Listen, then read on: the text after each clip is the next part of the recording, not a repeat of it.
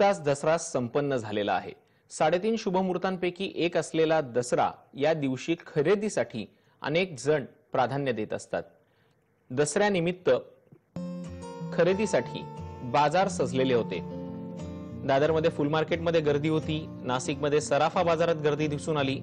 जळगावमध्ये सोन्याची आपट्याची पानं खरेदी करण्यासाठी नागरिकांनी खरेदी केलेली होती. नागपूरमध्ये सुद्धा अशीच गर्दी दिसून आली.